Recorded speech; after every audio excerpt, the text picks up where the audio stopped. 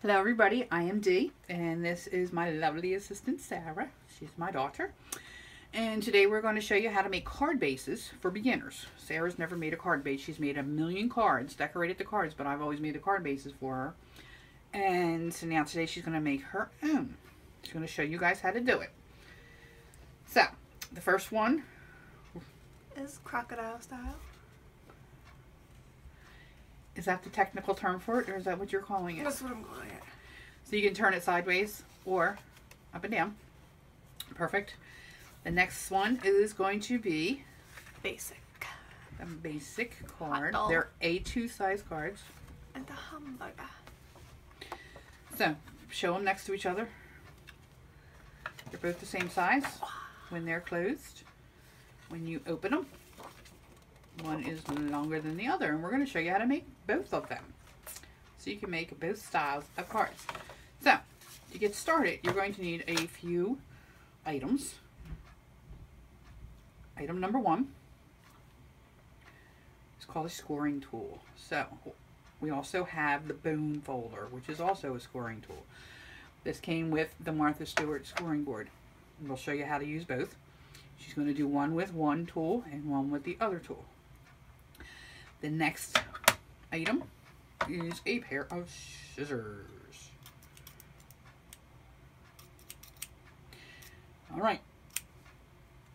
She obviously likes playing with the scissors. The next one will be our... Did you forget it again? Yeah. I keep forgetting the name Our trimming board. Our trimmer. Our Fiskars trimmer. Um, the reason we're going to need scissors, and you'll see in a minute, is because my trimmer is only so big. Um, it'll trim the one size paper, but it won't trim the others, the longer size, because it won't fit in here, but we'll show you that in a minute. And the last item that you'll need, no, not the last item, the second last item you'll need is the scoring board, which is the Martha Stewart scoring board that I have. It's a very large board. And we'll show you how we're using that in a second. The most important thing you'll need is cardstock. Two cardstocks, nothing special about them. We use this stuff I don't know what the weight is. I think it's 60 pound weight. But anyway, we have two pieces. We're going to get four cards out of these two. So, Sara's going to show you how to do it. We're going to start with the one. We're going to do the basic one first. Basic. I bring a hot dog? Okay. So what she wants to do right now is you're going to cut it in half. Exactly in half this way. Okay. So... So half, it's eight and a half by 11 is the paper. Eight so you're going to make, 11. that's the size it is now. Right. You want to cut it half of 11 Half of 11 would be five and a half, which would be... Right, so you want to make sure it's flush up there. Is that this line? would Be five and a half is this line right here. Right. You're going to close up your trimmer and score or cut it. Pull out your two pieces. Finally, they're even. Now, put them together so they can see that they are the same size. Now she has two pieces of paper the exact same size. So, we are now done with the trimmer. Okay, for this card. For this card too. We can't use it for oh, the other cards, okay. and I'll show you why in a second. So, so let's put one aside. She now has two pieces, as you see. Put it aside, put it up in the corner there. You put it up flush, you'll see it's eight and a half mm -hmm. by five and a half. That's exactly what we need. So, you're going to cut it, or you're not, you're not going to cut it. You're going to score score it, very good, mm -hmm. halfway, because you want it to fold exact halfway. Half of eight and a half is four and a quarter. Okay. Is this one here. Pick one of your tools. Now, this tool I want to explain real quick is a Fiskars, Fiskars tool. It has a ballpoint. A very small, I don't know if you can see it, very small little ball here, or a larger one here. You see that? Mm -hmm, the larger one is what you want to use. You can use a smaller one, but if you use a smaller one, you're going to put a hole in the paper, chances are. So, use a larger one. Okay. Let me zoom you back out. All right, there you go. Four and a quarter. Four and a quarter. You'll feel the little groove that's in there. I feel it now. That's okay. She just slipped a little bit. Go back into it.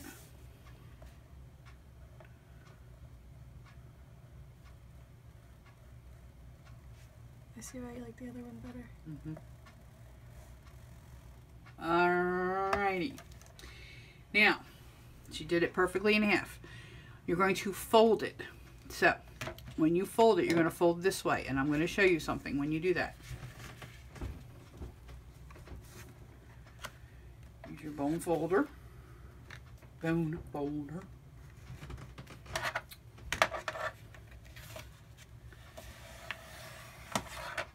Perfect.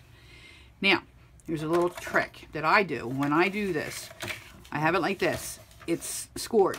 I mm-hmm. keep it up in this corner so that I know that this is even, Stevens, perfect. Mm-hmm. And then I fold it, okay? Mm-hmm. Because sometimes when I find when I do this, I tend to push it up this way a little bit and it would fold weird. So I always try to put it flush in the corner.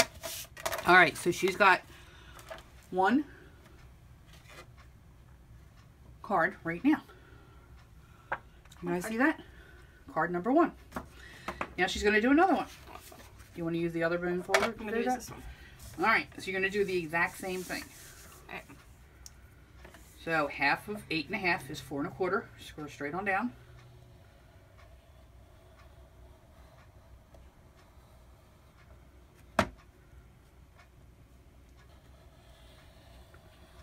Very good. Now for this one, because I want to show you something, Okay. you're going to pick it up and fold it the opposite. Oh, opposite. Okay. Instead of folding this way, because while you have it, you're going to do this. And I want to Okay. show you why. You want to show them a little Reggie first? There's a little ridge bump. Uh, You can't see it. Let me zoom in. They can't see it because of the light. Put it down. Can you guys see? I can see it. You can see it there? Yeah. It's a You little see the little bump there? This one did not have the bump there. You see that? So fold that in half where the bump is. Zoom back out. I'm going to show you on my bumpy. Do it up in the corner. There you go.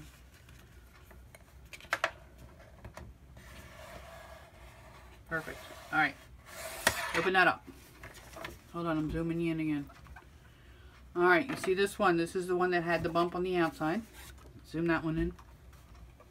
That one has a bump on the inside now. Turn it over. My bump's on the outside. Did you do it backwards? Nope. This part has a bump. This one doesn't. I think I folded it weird. It's Uh-oh. not even in frame. Pull it up. Okay, so she has bump there, no bump there. I prefer the no bump. Some people prefer the bump. It's all personal preference. So now she has two cards that she just made out of one sheet of eight and a half by 11 paper. She made two basic cards. So she can make a card going this way, one this way, two however she wants to do it. So now she's got two card bases. Now she'll have to ask me to help her. Now, we're going to do the other way. Oh, dear lord. Now, the other way, I'm going to show you, needs to be scored this way, down in the middle, because we want it to look like this. So, simple enough, right? Well, my scoring board will not allow us Trimming. trimming board. Oh my, I can't believe I can't remember it. Will not allow me, it doesn't fit. It's stuck. Does not, just doesn't fit. So, I can't use that. I got a smaller one. Had I known, I would have gotten a bigger one when I bought these. I'm going to have to buy, invest in a new one. But anyway, so for now, you're going to have to go eight and a half, half of that, four and a quarter. four and a quarter, score down.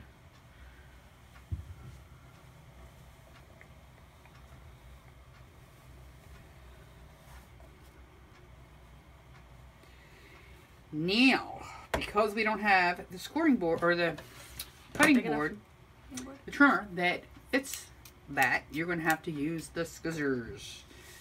Just go straight on up. As careful as you can.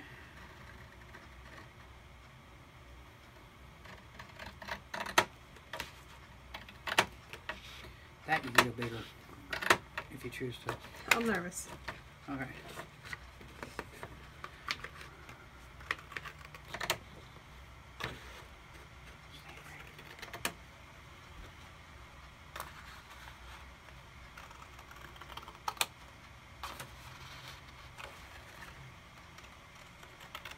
Slow and steady wins the race, and she's almost there. Yeah! back as well. okay. She has Two crooked pieces of paper. two pieces of paper that are almost perfect. Crooked. You'll never know. I will. Nobody will ever know. You cut that little piece off there.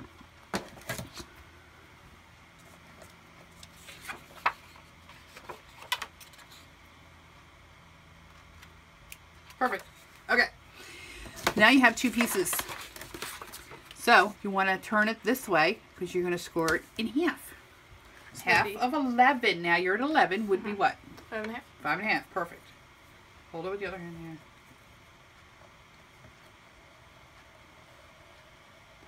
Perfect. Alright, leave that one there. Let's not fold it yet. Do that one. Make sure it's flush up against the thing. Five and a half.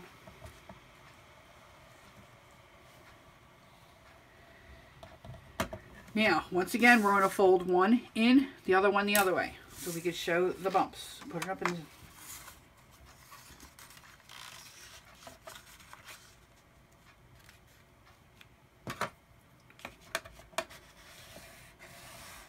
Very good. Do the other one. Do you remember which way you did it? Oh, we'll figure it out. I think I did that one with the bump in the inside. Nope. Okay. Wait. The bump's on the outside, right? this. Okay. Blonde moment. All right, let's see. Make sure.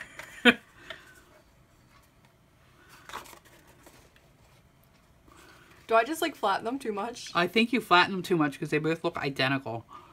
So, yay. we learned something here. Um, yeah, that's cool. Do you have another one that you can show the inside? That's. This one has a bump. This one, okay, yeah. Here we go. So this one's bump. Bumpered. Can you see it? I don't know if you can see Yeah, you can see it. This one is not. So that's what I mean. It's perfect personal preference. However you want to do it. And then you don't get a bump either way. Unless unless you do it like Sara does it, and we don't know. It just it misappeared, as she used to say when she was little. So Sara now has two of these cards that go this way or this way. Crocodile style. So that quickly, Sara made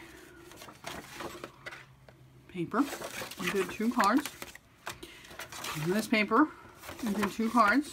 She now has four card bases that she can decorate, do with what she wants, and won't have to bother me to make them for her. Because now, she, if she says, "I need a white card base," I could say, "Make it yourself."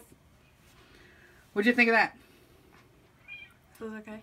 Easy it was, enough. It was nerve wracking. A little nerve wracking. Once you do a couple of them, you'll be fine. Wouldn't be as bad if we weren't filming it.